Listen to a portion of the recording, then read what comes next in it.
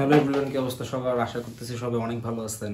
So অনেক দিন পরে বেসিক্যালি আজকে একটা ভিডিও আপলোড দিচ্ছি অ্যান্ড আজকে ভিডিও আপলোড দ্য রিজন হচ্ছে যে আমি আমার ইগনাইটরটার টোটাল একটা ইঞ্জিন রিবিল করছি। টোটাল ইঞ্জিন রিবিল বলতে ইঞ্জিনের হেড সিলিন্ডার তার ভেতরে যে যে পার্টসগুলো থাকে, ওগুলো সবই আসলে রিবিল করতে হয়েছে নতুন করে। অ্যান্ড এই কাজে আমার টোটাল খরচ হয়েছে কত টাকা, কীভাবে কি আমি সবই আজকে আপনাদেরকে বলে দিচ্ছি। অ্যান্ড এইটার জন্য আমি ইনফ্যাক্ট আজকে যা যা খরচ করছি সব কিছুর একটা প্রিন্টেড ভার্সনও নিয়ে আসছি আমি সো দেখি যে আমার কোথায় কি খরচ হয়েছে। আপনাদেরকে একদম ভালোভাবে একটা ব্রেকডাউন দিতে পারব আর কি আজকে। অ্যান্ড আগের থেকে বলে দিই ভাই ইগনাইটরের ইঞ্জিন রিবিলে না খুব একটা খরচ হয় না মানে খুবই কম খরচ হয়। যেহেতু বাইকও একটু লো সিসি বাইক একশো পঁচিশ সিসি বাইক এই সমস্ত বাইকের ইঞ্জিন রিবিল কষ্ট মোটামুটি হায়ার সিসি বাইকের থেকে অনেক কম। সো ইঞ্জিনে তো ভাই বেশ কয়েকটা পার্ট থাকে। যেমন সবার আগে তো নিচের একটা বড় পার্ট থাকে। ওই নিচের পার্টটা আমি কোনো হাতি দেই নেই বেসিক্যালি সো একদম উপরে থাকে আপনার হেডের ব্লকটা হেড পার্টটা থাকে, তার নিচে থেকে সিলিন্ডার ব্লকটা আর এগুলোর মধ্যে আপনার rocker arm piston timing chain হাবিজাবি ক্যামশ্যাফ যা যা থাকা সবই এর মধ্যেই থাকে।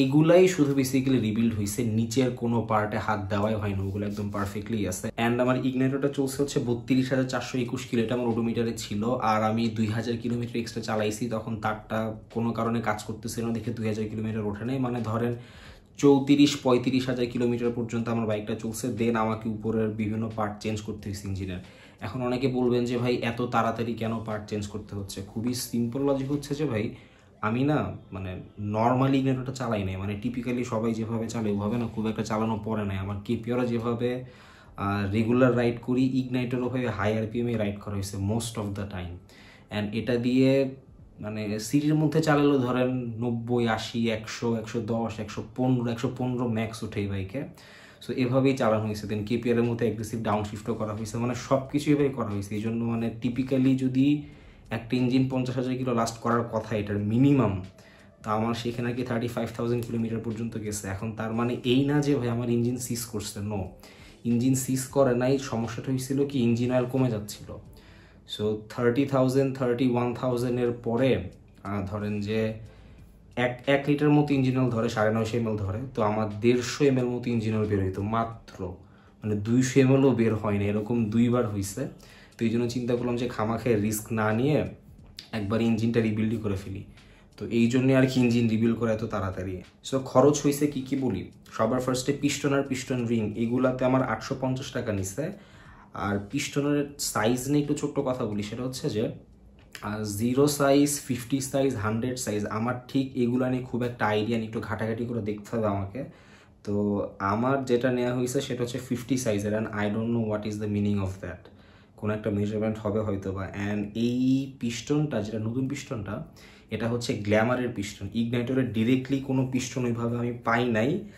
আর একটাও হিরোর সার্ভিস সেন্টার থেকে নেওয়া হয় না সবই genuine parts but service centre থেকে নেওয়া হয় না নেওয়া হয়েছে হচ্ছে মিরপুর দশের দুইটা দোকান থেকে। একটা হচ্ছে আপনার ইরমা, আর একটা হচ্ছে সাবা মোটরস, মনে হয় হ্যাঁ। এই দুইটার থেকে এই পার্টসগুলো নেওয়া হয়েছে তো পিস্টন আর পিস্টন রিং মিলাই হচ্ছে আটশো পঞ্চাশ টাকা।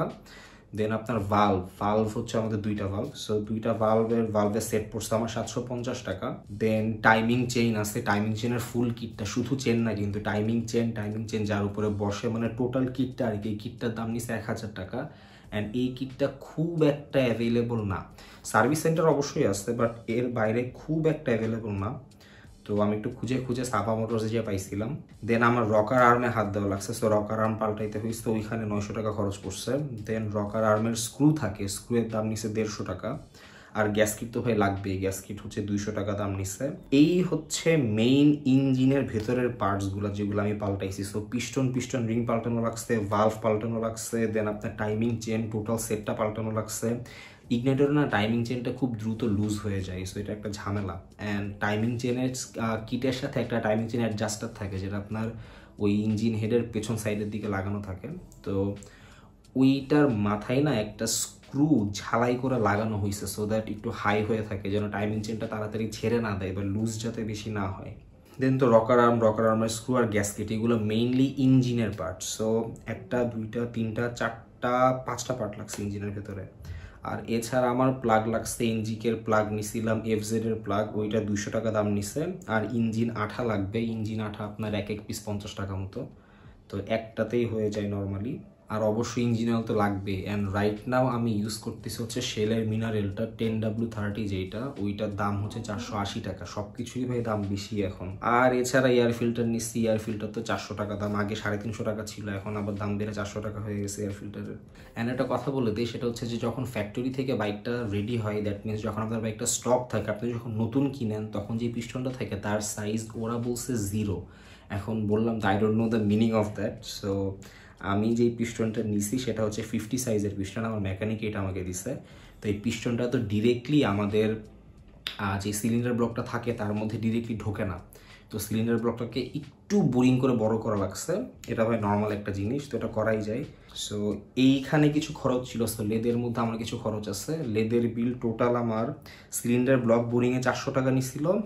আর সামান্য কিছু কাজ ছিল। কাজ বলতে নতুন যে ভাল্ভগুলো নিছিলাম আমি ওই ভাল্ভগুলো না ফ্রি ছিল না সো ওখানে একটু কাজ করা লাগছিল সামান্য। তো ওই সব মিলে আমার সাড়ে পাঁচশো টাকা লেদের বিল আসছিল।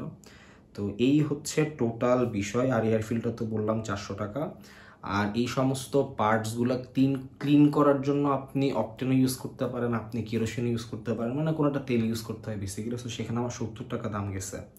তো এই টোটাল মিলায় না আমার বাইকের ইঞ্জিনের পার্টসের পিছনে পাঁচ হাজার ছয়শো পঞ্চাশ টাকা খরচ হয়েছে তো টোটালি পাঁচ হাজার ছয়শো পঞ্চাশ টাকার মধ্যে মানে ধরেন রাফলি সাড়ে পাঁচ হাজার টাকার মধ্যে আমার টোটাল ইঞ্জিনের পার্টসপত্র কেনা শেষ। অ্যান্ড এখন শুধু এগুলো লাগানো বাকি। সো আমার মেকানিক যে আপনারা যারা আমার ভিডিও দেখেন, তারা ম্যাক্সিমাম পাবলিকই জানেন যে আমার বাইকের এ টু জেড মানে যতগুলো বাইক ছিল, সবগুলো বাইকের কাজই লিটন করছে।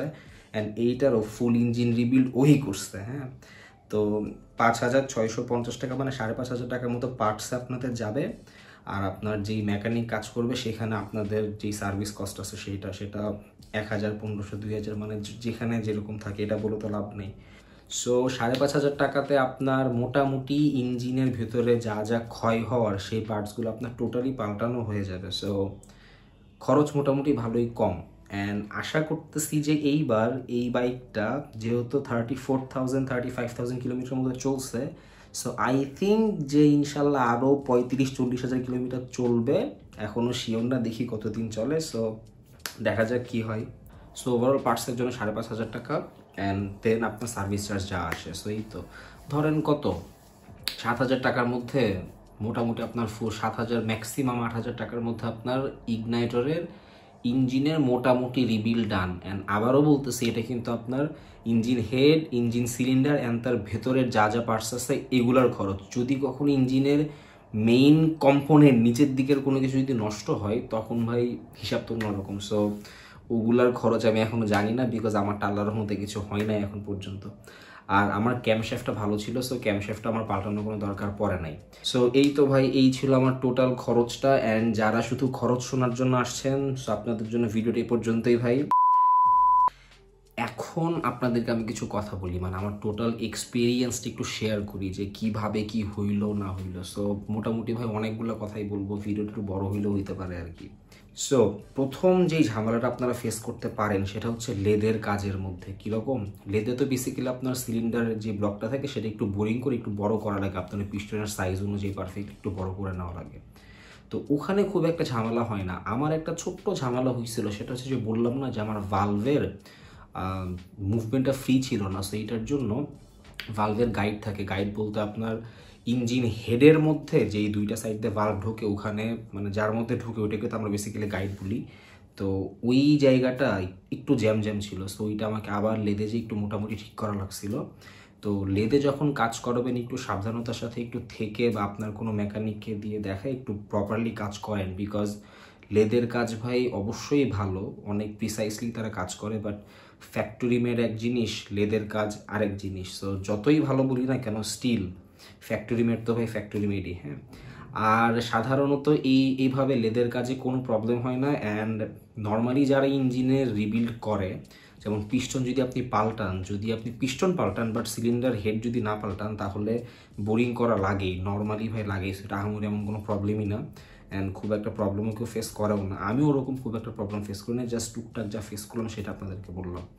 এইবার সেকেন্ড কথা যেটা, সেটা হচ্ছে ইগনাইটরের ভালভের বিষয়টা। সো ইগনাইটরের ভালভ বাজারে অনেক ভালভ আছে যেগুলো নকল। সো অবশ্যই পরিচিত কোনো দোকান থেকে যদি নিতে পারেন, খুবই ভালো। আর যদি অথরাইজ সার্ভিস সেন্টার থেকে নেন, তাহলে তো ভাই কোনো কথাই নাই। আমি কোনো পার্সি সার্ভিস সেন্টার থেকে নিয়ে নাই বললাম তো আগেই।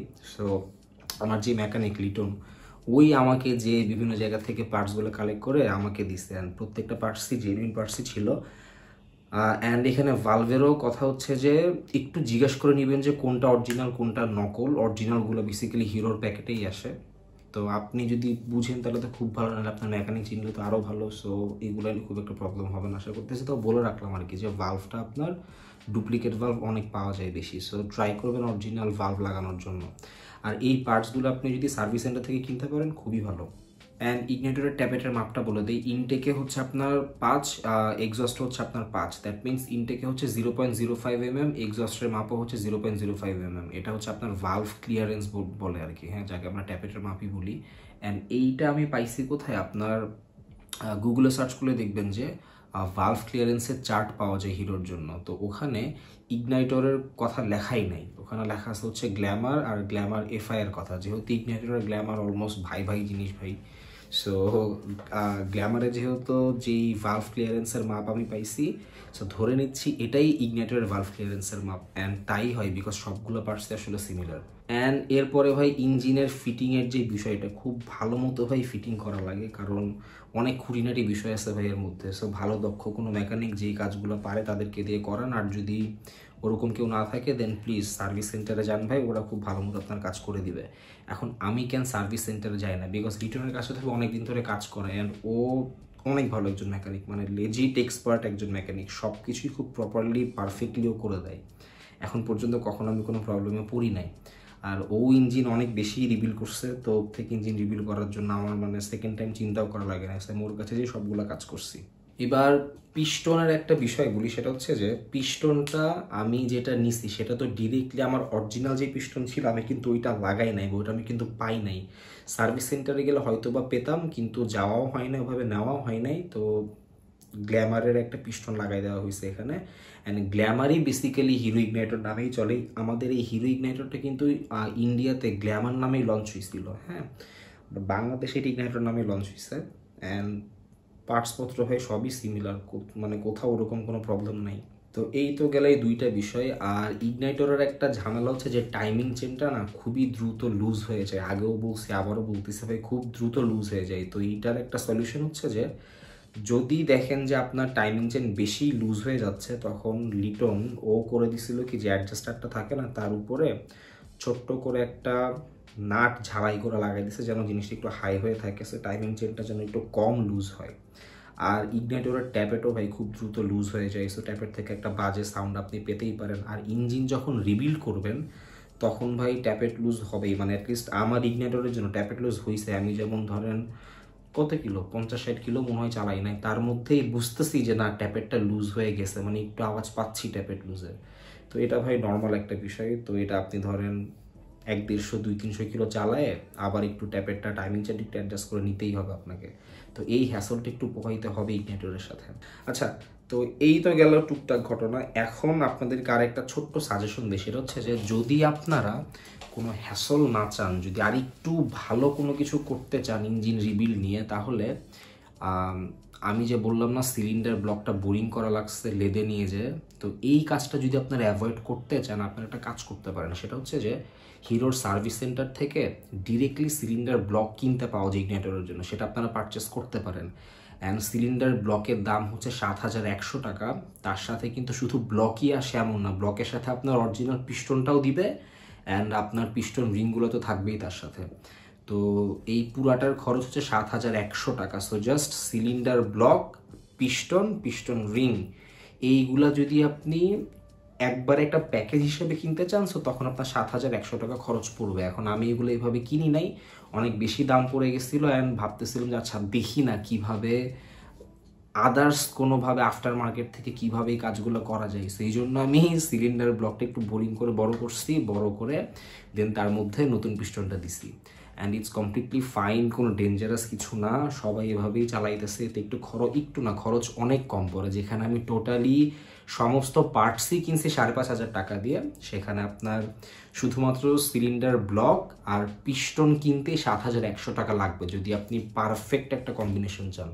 বাট ওই যে বললাম তো, আপনি যদি অথরাইজ সার্ভিস সেন্টার থেকে সিলিন্ডার ব্লক আর পিস্টন যদি কিনেন, আপনার সেট আপ করে ইজি হয়ে যাবে মানে ইঞ্জিন রিবিল্ডের ফুল প্রসেসটা ইজি হয়ে যাবে, তার উপরে বাইকটা আরও স্মুথ হবে, এতে কোনো ডাউট নাই। তো দরকার নাই ভাই আমার, আমি জাস্ট যেহেতু এতদিন চালাই ফেলছি বাইকটা সো এখন একটু দেখি যে সবাই যেভাবে ইঞ্জিন রিবিল করে মোস্ট অফ দ্য টাইম যে সিলিন্ডারটা বোরিং করতে আমিও করলাম, দেখি কীরকম হয়। অ্যান্ড এটাই ছিল আমার প্রথম ইঞ্জিন রিবিল্ড আমি কখন আমার কোনো বাইকের ইঞ্জিন রিবিল্ড করি নাই আগে।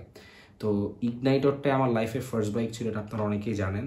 তো এই প্রথমে এই বাইকটার ইঞ্জিন রিবিল করলাম। এরপর তো জিক্সার এসএফ কিনছিলাম কিনে বারো, সাড়ে বারো হাজার কিলো চালাই বেচেও দিচ্ছি তো তো ইঞ্জিন রিবিলের কোনো প্রশ্নই আসে না।